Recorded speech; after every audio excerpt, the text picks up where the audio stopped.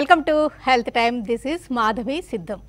Kidney stones దానిలో ఎన్నో రకాలు. ఇంకా జన్యుపరమైన కారణాలతో తెలితే పాలిసిస్టిక్ కిడ్నీ లేతే కిడ్నీ ఫెయిల్యూర్కి గురవడం క్రానిక్ కిడ్నీ డిసీజ్ ఇలాగే ఎన్నో రకాల సమస్యలతోటి కిడ్నీలకి ఎన్నో రకాల ట్రీట్మెంట్స్ అవసరమవుతూ ఉంటాయి డయాలసిస్ అవసరం ఉంటుంది. డయాలసిస్ తర్వాత కిడ్నీ ట్రాన్స్ప్లాంటేషన్ జరగాల్సిన సందర్భాలు ఉంటుంటాయి అసలు కిడ్నీ సమస్యల్లో మూత్రపిండాల సమస్యల్లో రకాలేంటి?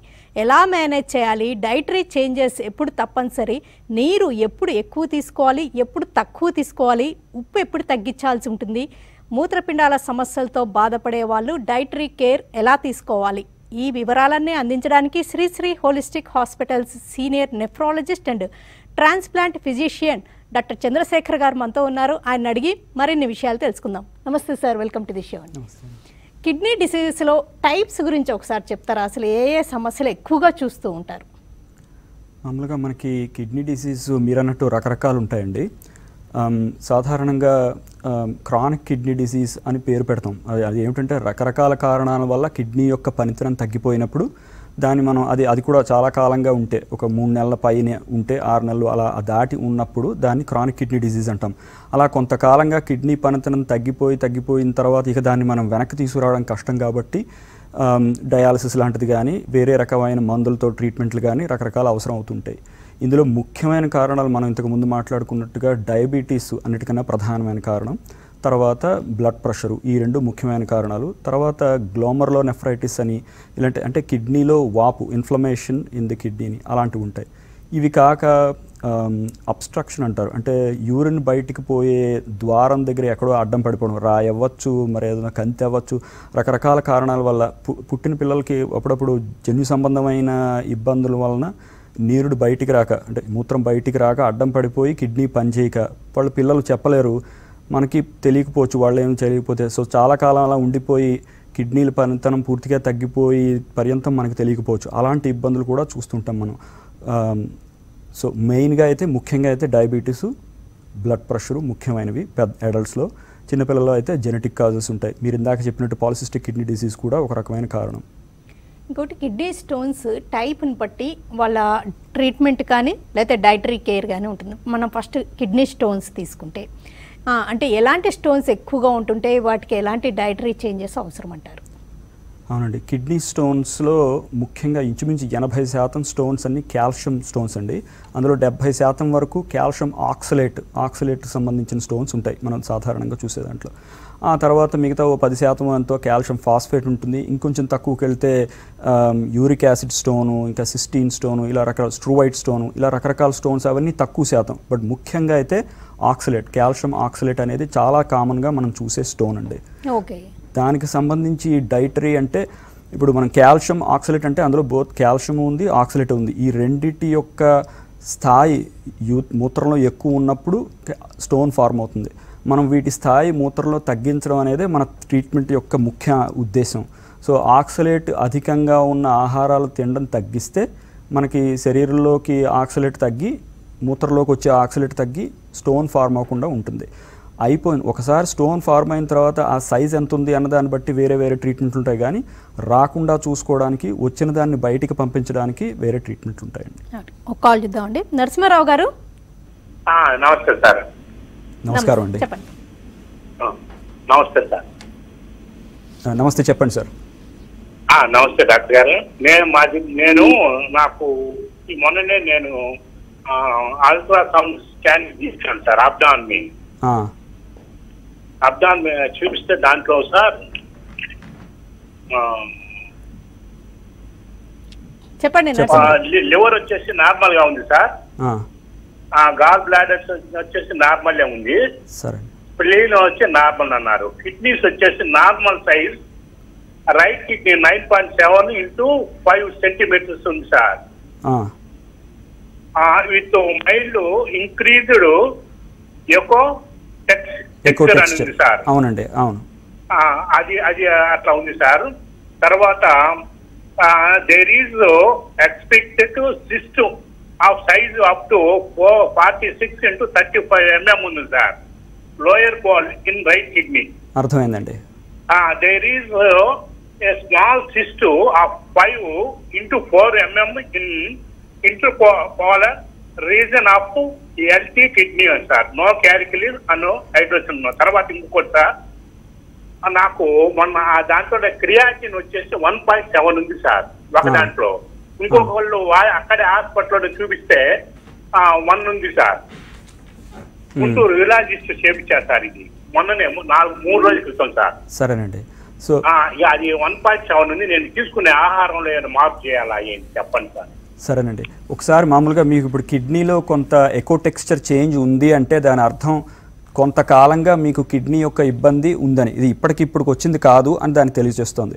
ఇంకోటి కిడ్నీ సైజు నార్మల్గానే ఉందండి. అది ఆ సైజులో ఇబ్బంది ఏం లేదు. ఒక్కోసారి కిడ్నీలు కొంతమందికి చిన్నవి అయిపోవడం అలాంటివి కనిపిస్తాయి మీకు అలాంటి ఇబ్బంది ఏం లేదు. సిస్ట్ గురించి ఒకటి చెప్పారు ఎగ్జోఫిటిక్ సిస్ట్ అని.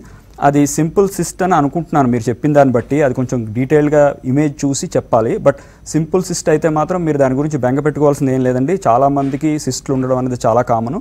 దాని గురించి మీరేమి ఇబ్బంది పడక్కర్లేదు. ఇంకా క్రియాటినిన్కి వచ్చేసరికి వన్ పాయింట్ సెవెన్ ఒకసారి అన్నారు తర్వాత వన్ అన్నారు.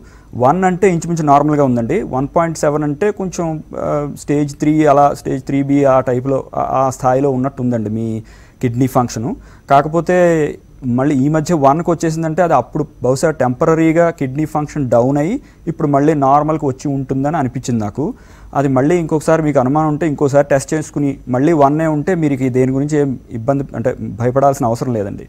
ఒకవేళ మీకు వన్ పాయింట్ సెవెన్ అంతకన్నా ఎక్కువ ఉండి ఉం- ఉంది ఇంకా అంటే కంటిన్యూస్గా అలా ఎక్కువ ఉంటుంది అనుకుంటే అప్పుడు మిగతా పొటాషియం ఎంత ఉంది ఫాస్ఫరస్ ఎంత ఉంది ఇలాంటివి యాసిడ్ లెవెల్ ఎంత ఉంది మీ శరీరంలో అన్న టెస్టులు చేసి దానికి తగ్గట్టు ఆహార నియమాలు పాటించాల్సి ఉంటుందండి. ప్రస్తుతానికైతే మీది బాగానే ఉన్నట్టు ఉందండి నెక్స్ట్ కాల్ చేద్దామండి మోహన్ రెడ్డి గారిది. హలో. హలో. నమస్తే. నమస్కారం. నమస్కారం మేడం. వనపర్తి జిల్లా నాగపూర్ అండి. చెప్పండి మోహన్ రెడ్డి గారు. నాది కిడ్నీ ప్రాబ్లం మేడం. చెప్పండి మీ క్వశ్చన్ సార్. ఫాస్ట్గా అడగండి. నమస్కారం సార్. నాది కిడ్నీ ప్రాబ్లం సంవత్సరానికి ఎక్కువైంది సార్. త్రీ పాయింట్ ఫోర్ ఉంది సార్ ఇప్పుడు. చెప్పండి. ఇంకోటి వేరే ఏదో వన్ పాయింట్ టూ ఉంది సార్. మళ్ళీ ఏమిటి వన్ పాయింట్ టూ ఉందండి? ఏదంటే నాకు కళ్ళు బాగా కనిపించవు సరేనండి. అంటే క్రియాటినిన్ వన్ పాయింట్ టూ అయితే మరి ఇందాక మాట్లాడుకున్నట్టుగానే అంత ఎక్కువగా ఏం లేదండి. అంటే నార్మల్ అయి ఉండకపోవచ్చు బట్ అంటే వన్ అంతకన్నా తక్కువ ఉండాల్సింది. వన్ పాయింట్ టూ ఉందంటే పెద్ద ఎక్కువ ఇబ్బంది ఏం లేదు. త్రీ పాయింట్ సెవెన్ ఉందంటే బాగా బాగా ఎక్కువగా ఉందండి. అంటే కిడ్నీ యొక్క పని పనితనం బాగా తగ్గిపోయింది. ఫిల్టర్ చేసే కెపాసిటీ బాగా తగ్గిపోయినట్టు. మీ క్రియాటిన్ త్రీ పాయింట్ సెవెన్ ఉంటే కనుక. సాధారణంగా ఈ స్థాయిలో కిడ్నీ ఫంక్షన్ ఉన్నప్పుడు మీకు ఇతరమైన ఇబ్బందులు కూడా ఉండే అవకాశం ఉంది. అంటే ఏది పొటాషియం బాగా ఎక్కువ అవడం ఇందాక మనం అనుకున్నట్టు ఫాస్ఫరస్ ఎక్కువ అవడం యాసిడ్ లెవెల్ కొంచెం బిల్డప్ అవడం శరీరంలో ఇలాంటివి మనకు తెలిసేవి. దీనికి సంబంధించి ల్యాబ్ టెస్టులు చేసి మీ దగ్గర ఆల్రెడీ ఉంటే చూడండి ఒకసారి. వాటి విలువల్ని బట్టి మనం ట్రీట్మెంట్ చేయొచ్చండి. మీరు హైదరాబాద్లోనే ఉంటే త్రీ పాయింట్ సెవెన్ మీ క్రియాటిన్ అయితే హాస్పిటల్కి వచ్చి కనపడాలి మీరు.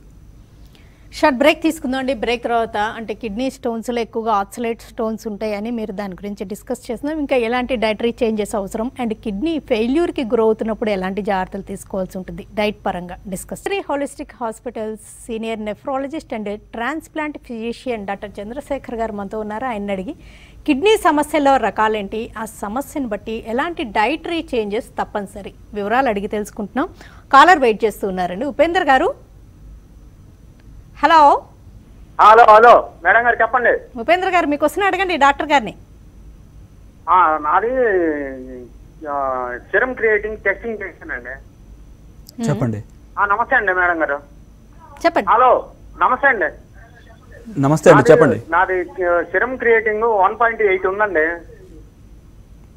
ఓకే. చెప్పండి తీసుకోవాల్సిన జాగ్రత్తలు ఏంటి? ఒకసారి చెప్పండి. ఓకే డిస్కస్ చేస్తున్నామండి. ఇప్పుడు ఆ పాయింట్స్ అన్ని ఇప్పుడు క్రియాటినిన్ లెవెల్స్ పెరిగాయి కిడ్నీ ఫెయిల్యూర్కి దారి తీస్తుంది అన్న ఇండికేషన్స్ ఉన్నాయనుకోండి వాళ్ళు ఎలాంటి జాగ్రత్తలు తీసుకోవాల్సి ఉంటుంది? అసలు ఎప్పుడు ఫెయిల్యూర్కి గ్రో అవుతున్నట్టు గుర్తించగలరు? మామూలుగా కిడ్నీ పనితనం ఇంచుమించు ఎనభై శాతం వరకు తగ్గిపోయే వరకు మనకి ఎలాంటి సిమ్టమ్స్ ఉండవండి. అది అదృష్టమో దురదృష్టమో కానీ సిమ్టమ్స్ మొదలయ్యే నాటికే ఇంచుమించు చాలా మటుకు కిడ్నీ ఫంక్షన్ పోయినట్టు. అందుకనే మనం ఏం చేయాలంటే రెగ్యులర్గా ఫిజిషియన్కి దగ్గరికి జనరల్ ఫిజిషియన్కో డాక్టర్ దగ్గరికి వెళ్ళి సంవత్సరానికి ఒకసారి ఎప్పుడు టెస్టులు చేయించుకుని చూసుకుంటే మన కిడ్నీ పనితనం ఎలా ఉంది ఏమైనా వరుస అవుతుందో లేదో తెలుస్తుంది. కొన్ని సిమ్టమ్స్ ఉంటాయి. వాటిని బట్టి కూడా గుర్తించవచ్చు. అంటే యూరిన్ సరిగా అవ్వకపోవడం లేదా రాత్రి సరిగా నిద్రలు పట్టకపోవడం ఆకలి వేయడు- ఆకలి వేయకపోవడం ఇంకా లేట్ స్టేజెస్లోకి వెళ్ళేసరికి ఒళ్ళంతా ఏదో దురదలు పట్టినట్టు డ్రైగా చర్మం అయిపోవడం ఇలా ఇలాంటి ఇబ్బందులన్నీ ఉంటాయండి. అంటే యూరిన్ తక్కువ రావడం జరుగుతుందా? ఎక్కువ రావడం జరుగుతుంది అంటారా కిడ్నీ ఇబ్బందులు రెండు రకాలు ఉన్నాయండి. సాధారణంగా మనం మాట్లాడుకుని ఇలా క్రియాటినిన్ పెరిగిపోయిన వాళ్ళందరూ క్రానిక్ కిడ్నీ డిసీజ్ అన్న వాళ్ళకి సాధారణంగా యూరిన్ తగ్గిపోతుందండి. అంటే వాళ్ళు పోసేది రోజుకి ఒక ఇరవై నాలుగు గంటల్లో ఎంత ఉంది అని చూసుకుంటే అది మెల్లిమెల్లిగా తగ్గిపోతూ ఉంటుంది. కొన్ని రకాల వ్యాధులు ఉన్నాయండి కిడ్నీకి సంబంధించి. అవి వాటిల్లో అంటే ఇప్పుడు లిథియం వాడేవాళ్ళు లేకపోతే కొంతమంది ఉంటారు. డయాబెటీస్ ఇన్సిపిడస్ అంటారు మామూలుగా దాన్ని. వాళ్ళకి యూరిన్ పెరిగిపోతుంది. యూరిన్ ఎంత ఎక్కువ అవుతుందంటే వాళ్ళు మామూలుగా మనం నీరు తాగినప్పుడు ఎంత తాగామో అన్న దాన్ని బట్టి కిడ్నీ మళ్ళీ రెగ్యులేట్ చేసి యూరిన్ ప్రొడ్యూస్ చేస్తుందండి. అంటే ఎండలో ఎక్కువ తిరిగే వాళ్ళకి యూరిన్ తక్కువ రావడం నీరు ఎక్కువ తాగినప్పుడు ఎక్కువ పోయడం ఇలాంటి ఈ మార్పుల యొక్క ఇది పోయి తక్కువ తాగిన వాళ్ళకి కూడా ఎక్కువ నీరు బయటకు వచ్చేసి డీహైడ్రేట్ అయిపోతారు. అది డయాబెటీస్ ఇన్సిపిడస్ అంటారు. అది అలాంటి వాళ్ళు ఎక్కువ నీళ్ళు తాగుతూ మెయింటైన్ చేస్తూ ఉండాలి. వాళ్ళు నీరు ఎప్పుడో బయటికి వెళ్ళినా నీరు దొరకలేదు అనుకుంటే డిహైడ్రేట్ తొందరగా అయిపోతారు. అలాంటి ఇబ్బంది ఉంది. మామూలుగా క్రానిక్ కిడ్నీ డిసీజ్ అని మనం ఇందాకంతా మాట్లాడుకున్న వాళ్ళ వాళ్ళ పరిస్థితి ఏంటంటే సీకేడి అంటారు కదా మామూలుగా క్రియాటిన్ లెవెల్ పెరిగిపోయి కొద్దీ యూరిన్ అవుట్పుట్ తగ్గిపోతుంది చాలా మందిలో. ఎక్సెప్షన్స్ ఉన్నాయి బట్ చాలా మందిలో యూరిన్ అవుట్పుట్ తగ్గిపోతుంది. అలా తగ్గిపోయినప్పుడు ఉదాహరణకి వాళ్ళు ఒక రోజులో అర లీటరే మూత్రం పోయగలుగుతుంటే వాళ్ళు రెండు లీటర్లు తాగుతున్నారు అనుకోండి రోజుకి లీటర్న్నర చప్పున వాళ్ళలో పేరుకుపోతుంది అక్యుములేట్ అయిపోతుంది. అలా ఒక వారం రోజులు రెండు వారాలు అయ్యేసరికి ఇలా రోజుకు లీటర్న్నర లీటరు అలా పెరుగుతూ వచ్చి కాళ్ళు పొంగడం తర్వాత ఇంకొంచెం పోయాక ఊపిరితిత్తుల్లోకి నిమ్ము చేరిపోయి ఆయాస పడిపోవడం ఇలాంటి ఇబ్బందులు వచ్చి ప్రాణాంతకం అయ్యే అవకాశం కూడా ఉంది. పల్మరేడిమా అంటారు. సో అందుకని నీరు ఎంత తాగాలి అన్నది వాళ్ళ క్రియాటిని బట్టి వాళ్ళ యూరిన్ అవుట్పుట్ని బట్టి నెఫ్రాలజిస్ట్ కానీ అంటే యూజువల్గా ఫిజిషియన్ అడ్వైస్ చేస్తారు. ఇంత నీరు తాగండి ఇంతకన్నా వద్దు లేదా తక్కువ ఏదో అంటే పరిస్థితిని బట్టి. ఒక్కోసారి తక్కువ తాగాల్సిన అవసరం ఉంటుంది ఎక్కువ ఎక్కువ. తాగకూడదు. అందరికీ ఒకటే మందు కాదండి ఒక్కొక్కరికి ఒక్కో రకంగా. సో వాళ్ళ పరిస్థితిని బట్టి కొంతమందిని తక్కువ తాగమని చెప్తాం. డయాలసిస్ మీద ఉన్న వాళ్ళు ఉన్నారనుకోండి ఉదాహరణకి వాళ్ళు ఎంత తక్కువ తాగగలిగితే అంత తక్కువ తాగమని చెప్తాం ఒక్కోసారి. ఎందుకంటే వాళ్ళు తాగిన నీరంతా మర్నాడు డయాలసిస్ చేసేటప్పుడు మేము పీకాల్సి ఉంటుంది బయటికి వాళ్ళ శరీరం నుంచి. అది ఒక్కోసారి కష్టం అవుతుంది. అంటే ఇప్పుడు రోజుకు రెండు లీటర్లు తాగేశారనుకోండి రోజు విడిచి రోజు డయాలసిస్ చేసేటప్పటికి నాలుగు లీటర్ల నీరు బయటికి తీయాల్సిన అవసరం ఉంటుంది. ఆ చేసే నాలుగు గంటల్లో నాలుగు లీటర్లు బయటికి తీయాలంటే ఒకసారి కష్టం అవుతుంది. Infections BP. బీపీ తగ్గిపోవడాలు లేకపోతే కళ్ళు తిరగడాలు ఇలాంటి ఇబ్బందులన్నీ ఉంటాయి. అందుకని వీలైనంత తక్కువ తాగండి అని చెబుతాం డయాలసిస్ పేషెంట్లకి. అంటే అసలు ఏదో కాఫీ తాగారని టీ తాగారని ఇలా మెల్లిగా ఒకటి ఒకటి పేరుకుని చివరికి ఎక్కువైపోతుంది. ఉప్పు ఒకటండి. ఉప్పు ఉప్పు ఎక్కువ తినే వాళ్ళకి దాహం ఎక్కువ వేస్తుంది ఎంత వద్దనుకున్నా ఇటు చేసి అటు చేసి ఏదో నీరు శరీరంలోకి వెళ్ళిపోతుంది తాగేస్తుంటారు. అందుకని ఉప్పు తగ్గిస్తే దాహం తగ్గి నీరు తాగాలన్న కోరిక కొంచెం తగ్గిపోతుంది. అది ఈజీ అవుతుంది. డయాలసిస్ పేషెంట్లు ఎవరైనా సరే కిడ్నీ పేషెంట్లు కానీ మామూలుగా ఉప్పు తగ్గిస్తే బీపీ కూడా తగ్గుతుంది. సో అందరూ కిడ్నీ పేషెంట్లకి సాధారణంగా ఉప్పు తగ్గించమనే చెబుతాను. దానికి తోడు డయాలసిస్ మీద ఉన్న వాళ్ళకి ఎలాంటి. డిసీజ్ ఉన్నా కానీ ఉప్పు తగ్గించడమే బెటర్. అసలు లేకపోయినా కూడా ఉప్పు తక్కువ తీసుకోవడమే. బెటర్ అంటుంటారు కదా అవునండి. మన భారతీయులు మామూలుగా కొంచెం ఉప్పు కాస్త ఎక్కువే తింటారు. అందులో అంటే మన ఉభయ రాష్ట్రాల వాళ్ళు నాకు తెలిసి మనం ఉప్పు శాతం ఎక్కువ తింటామండి మనందరం ఊరగాయలని అదని ఇదని మొత్తానికి ఇంచుమించు. సో ఓవరాల్గా ఉప్పు తగ్గిస్తే నేను కొంతమందికి చూశాను బీపీ ట్రీట్ చేసే వాళ్ళకి ఎంత చే- ఎన్ని మందులు వాడినా బీపీ తగ్గట్లేదు. ఎలా కానీ మొత్తానికి ఉప్పు తగ్గించడానికి బాగా పరిశ్రమ చేసి వాళ్ళ చేత చెప్పి చెప్పి తగ్గించేసరికి మా ఎన్ని మందులు వాడాల్సి వచ్చిందన్నది తగ్గుతుంది. ఉప్పు యొక్క ప్రభావం చాలా ఉంటుంది. బీ బీపీ మీద చాలా ఉంటుంది. అది తగ్గించి తీసుకుంటే మందులు కూడా బాగా పనిచేస్తాయి.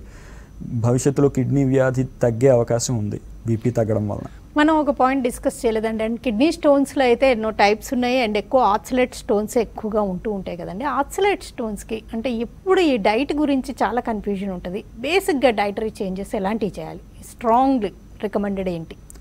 మామూలుగా ఆక్సలేట్ అనేది మొక్కల్లో తయారవుతుందండి. అంటే మామూలు జంతువుల్లో కూడా తయారవుతుంది. కానీ మనం తినే వాటిలో మొక్కల్లో ఎందుకు తయారవుతుందంటే మొక్క కాల్షియం బాగా ఉన్న మట్టిలో ఒకవేళ మొక్క ఉంటే అది పీల్చుకునే నీటితో పాటు చాలా ఎక్కువ కాల్షియం మొక్కలోకి వచ్చేస్తుంది.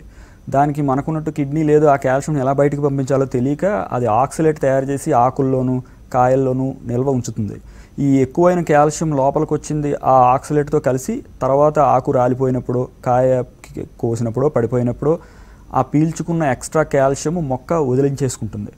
మనం ఇప్పుడు ఆ ఆక్సలేట్ మనం ఆ ఆకులు ఆకుకూరలు అవి మనం తింటే ఈ ఉపయోగించబడని ఆక్సలేట్ మన శరీరంలోకి వెళ్ళి అది మనం బయటకు పంపించడానికి వీలుగా మనం మళ్ళీ కాల్షియం తినాల్సి ఉంటుంది. సో సాధారణంగా ఆక్సలేట్ ఎక్కువ ఉన్న పదార్థాలు ఏమిటంటే ఆకుకూరలు. ఫర్ ఎగ్జాంపుల్ స్పినాచ్ అంటాం కదా పాలకూర తోటకూర గోంగూర లాంటివి కొంతమంది మునగాకు ఇలాంటివి కూడా తింటారు. కొన్ని అంటే పొన్నగంటి కూర ఏవో ఉన్నాయి. సో ఇలాంటి ఆకుకూరలు తర్వాత అరటికాయ అరటి పువ్వు ఇలాంటి నూపప్పు ఒకటండి చాలా ఎక్కువ ఆక్సిలేట్ ఉంటుంది. కానీ అదృష్ట కొద్దీ ఏంటంటే నూపప్పులో కాల్షియం కూడా ఎక్కువ ఉంటుంది. సో మన ఇబ్బంది పెట్టదు. ఆక్సిలేట్ ఎక్కువ ఉన్న మాట వాస్తవమే కానీ నువ్వులా నువ్వులు నువ్వుల్లో చాలా ఆక్సలే ఆక్సలిక్ యాసిడ్ ఉంటుంది. బట్ కాల్షియం కూడా ఎక్కువ ఉండడం వలన ఆ రెండు వాటికి ఒకదానికొకటి చెల్లిపోయి మనకి ఇబ్బంది పెట్టే అంత ఆక్సలేట్ నువ్వుపప్పులో ఉండదు. స్పినాచ్ మళ్ళీ ఎక్కువ ఉంటుంది. సో ఇలా కొన్ని పదార్థాలు మనం జాగ్రత్తగా అవి తప్పించి తినాలి. ఎవరు ఆక్సలేట్ స్టోన్లు ఎక్కువ ఉన్నవాళ్ళు?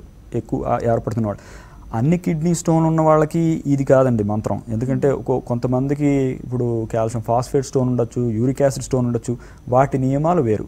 కాకపోతే మెజారిటీ మందిలో ఉండేది ఆక్సిలేట్ స్టోన్ కాబట్టి మనం ఈ ఆహారాలు వాళ్ళు తక్కువ తినమని చెబుతాం యూజువల్గా. స్టోన్ టైప్ని బట్టి మీరు డిసైడ్ స్టోన్ టైప్ని బట్టి డిసైడ్ చేస్తాం. స్టోన్ బయటికి వచ్చి కొంతమంది పట్టుకొస్తారండి. స్టోన్ ఇది వచ్చింది బయటకని దాన్ని అనాలిసిస్కి పంపించగలుగుతాం. పంపించి అందులో ఏముందని చూసి దాన్ని బట్టి ఓహో మీకు ఇది ఉంది కాబట్టి ఈ నియమాలు పాటించండి అని చెప్పే అవకాశం ఉంటుంది. ఓకే. ఇంకోటి ప్రోటీన్ కూడా యూరిన్లో పోవడం ఇలాంటివి జరుగుతూ ఉంటుంది కదండి. టెస్టుల్లో తెలుస్తూ ఉంటుంది కదా. మీరు అప్పుడు ప్రోటీన్ ఇంటేక్ ఎక్కువ తీసుకోమంటారా? తక్కువ అంటారా? కిడ్నీ ప్రాబ్లం ఉన్నప్పుడు ప్రోటీన్ ఇంటేక్ ఎలా ఉండాలి? కిడ్నీ ప్రాబ్లం అంటే ఇప్పుడు కిడ్నీ ప్రాబ్లంలో రకరకాలండి. మనం ఇందాక అనుకున్నట్టు నెఫ్రాటిక్ సిండ్రోమ్ అన్నట్టు ఉంది అంటే కేవలం వాళ్ళకి ప్రోటీన్ బయటకు పోతూ ఉంటుంది ముందు. అట్లీస్ట్ మొదలవడం అలా మొదలవుతుంది. చాలా ఎక్కువ ప్రోటీన్ బయటకు పోతూ ఉంటుంది. అప్పుడు మాల్ న్యూట్రిషన్ వస్తుంది ఆబ్వియస్గా. అంటే మన ఆ- బయటికి పోయే వ్యాధిని ట్రీట్ చేయకపోతే అంటే ఏదో ట్యాంక్కి కుళాయి ఓపెన్ చేసినట్టు నీరు పోయి ఫస్ట్ ముందు దాన్ని ట్రీట్ చేయాలంటే కుళాయి కట్టేయాలి. ముందు ప్రోటీన్ బయటికి పోవడం అనే ఆ ఆ వ్యాధిని మనం ట్రీట్ చేయాలి. దానికి రకరకాల ట్రీట్మెంట్లు ఉంటాయి. అది కాక ప్రోటీన్ ఎక్కువ తినాలి అలాంటి వాళ్ళు. అప్పుడు చిన్నపిల్లల్లోనూ వాళ్ళను వస్తే ఎదుగుదల ఆగిపోతుంది. వాళ్ళకి ప్రోటీన్ సరిగా లేకపోతే ఉన్న తినే ప్రోటీన్ అంతా బయటికి వెళ్ళిపోతుంటే శరీరంలో ఉండాల్సింది ముఖ్యమైనది సో వాళ్ళు ఎక్కువ ప్రోటీన్ తీసుకోవాలండి. అలా కాకుండా ఇప్పుడు మనం ఇందాక అనుకున్నట్టు క్రానిక్ కిడ్నీ డిసీజ్ వచ్చేసి కొంచెం బాగా క్రియాటిన్ పైకి వెళ్ళిపోయి మూడు నాలుగు అలా వెళ్ళిపోయిన వాళ్ళకి యాసిడ్ లెవెల్ బిల్డ్ అయిపోతుంది కదా. వాళ్ళు ప్రోటీన్ తగ్గించాలి. ఎందుకంటే ప్రోటీన్ తిన్న వాళ్ళకి కొంచెం యాసిడ్ లెవెల్స్ బిల్డప్ అయ్యే అవకాశం ఉంది. అందున జంతుజన్యమైన ప్రోటీన్ అంటే మాంసం ఇలాంటి మాంసం తినే వాళ్ళకి పప్పుల్లో వచ్చేది కాకుండా మాంసం నుంచి వచ్చేదానికి యాసిడ్ తయారీ తయా శరీరంలో యాసిడ్ కింద మారే గుణం ఎక్కువ. సో వాళ్ళు అవి బాగా తగ్గించి తినాలి. సో అంటే any kind of meat non veg items ఇంచుమించుగా any kind of red meat red meat స్పెసిఫిక్గా అంటారు red meat. But any kind of meat యూజువల్గా యాసిడ్ కలుగ చేస్తుందండి శరీరంలో యాసిడ్ లెవెల్స్ పెరుగుతాయి. తగ్గించమని చెప్తాం. ఎగ్స్ ఓకే అంటారా? ఎగ్స్ వర్క్ ఎగ్స్ పర్వాలేదండి. యాక్చువల్లీ ఎగ్స్లో కూడా ఎగ్ వైట్ మంచిది. యోక్ కొంచెం పర్వాలేదు. అయినా ఎగ్ పర్వాలేదు. మెయిన్ మీట్ అది కొంచెం ఇబ్బంది కలుగ చేస్తుంది ఓకే డయాలసిస్ మీద ఉన్నప్పుడు ఇంకా పర్టికులర్గా ఎలాంటి చేంజెస్ చేసుకోవాల్సి వస్తుంది? డైట్ విషయంలో ఇంకా ఎంత పర్టికులర్గా ఉండాలి? మిల్క్ ఇలాంటివి మిల్క్ ప్రోడక్ట్స్ తీసుకోవచ్చా? వాటి గురించి స్పెసిఫిక్ ఇండికేషన్స్ ఏమైనా ఉన్నాయా? డయాలసిస్ మీద ఉన్నారంటే మనం ఇందాక అనుకున్నట్టు పొటాషియం ఒకటి పెరిగిపోయే అవకాశం ఉంది ఫాస్ఫరస్ ఒకటి పెరిగిపోయే అవకాశం ఉందండి. మిల్క్ రిలేటెడ్ ప్రోడక్ట్స్ అంటే డైరీ ప్రోడక్ట్స్ అంటాం కదా డైరీ ప్రోడక్ట్స్లో ఫాస్ఫరస్ చాలా ఎక్కువ ఉంటుందండి. సో ఇప్పుడు వాళ్ళు తీసుకునే ఫాస్ఫరస్ బయటికి వెళ్ళే మార్గం సరిగా లేదు. డయాలసిస్ కూడా ఇప్పుడు మనం ఇందాక అనుకున్నట్టు మనది డెవలపింగ్ నేషను.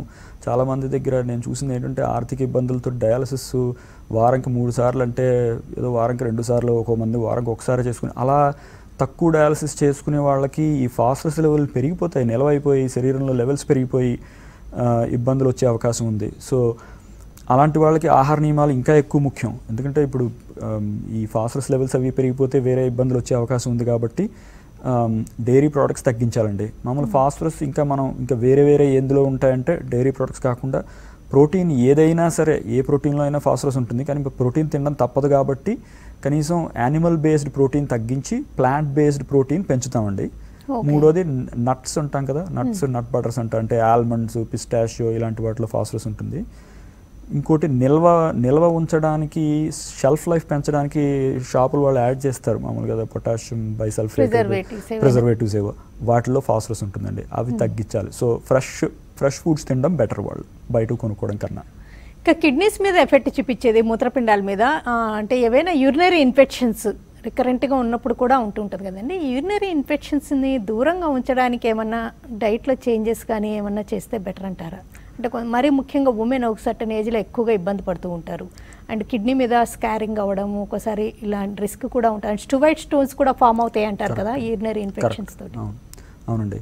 సో మామూలుగా ఇన్ఫెక్షన్స్ Um, మీరు అన్నట్టు పోస్ట్ మెనపాజల్ విమెన్ అక్కడికి వచ్చేసరికి మామూలుగా యూరినరీ ఇన్ఫెక్షన్స్ విమెన్లో చాలా ఎక్కువ అండి మెన్లో చాలా తక్కువ. అసలు ఒకటి లేదా ఒకటి దాటి రెండో ఇన్ఫెక్షన్ వచ్చేసరికి మనం యూజువల్గా ఇన్వెస్టిగేట్ చేయాల్సిన అవసరం ఉంది. ఎందుకు వస్తుంది? మామూలు రాకూడని దాంట్లో. ఆడవాళ్ళలో కొంచెం కామన్ అది.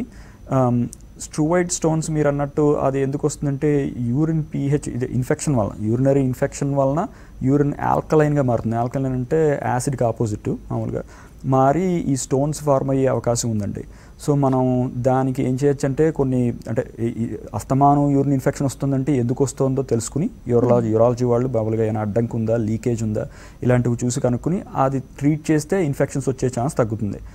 డైట్లో స్పెసిఫిక్గా ఇన్ఫెక్షన్ సంబంధించి ఏం లేదండి నీళ్ళు ఎక్కువ తాగడం. నీళ్ళు ఎక్కువ తాగితే నీళ్ళు ఎక్కువ బయటకు పోతే ఫ్లష్ అయినట్టు అయ్యి ఇన్ఫెక్షన్స్ తగ్గుతాయి కానీ స్పెసిఫిక్గా డైట్లో పెద్దంత మార్పు చేసేవి ప్రస్తుతానికి ఏం లేవు.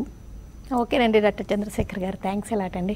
థ్యాంక్ యూ సాల్ట్ ఇంటేక్ ఎప్పుడు అన్ని రకాలుగా మంచిదే? బీపీ షుగర్లని ఇలాంటి వాటికి దూరంగా ఉంచడానికి హార్ట్ ప్రాబ్లమ్స్ కిడ్నీ ప్రాబ్లమ్స్ దూరంగా ఉంచడానికి సాల్ట్ ఇంటేక్ జనరల్గానే తక్కువగా ఉంటే మంచిది. వాటర్ ఇంటేక్ మాత్రం కొన్ని సందర్భాల్లో తక్కువ కొన్ని సందర్భాల్లో ఎక్కువ. కిడ్నీ స్టోన్స్ ఫామ్ అయ్యే వాళ్ళు ఎక్కువగా తాగాల్సి ఉంటుంది.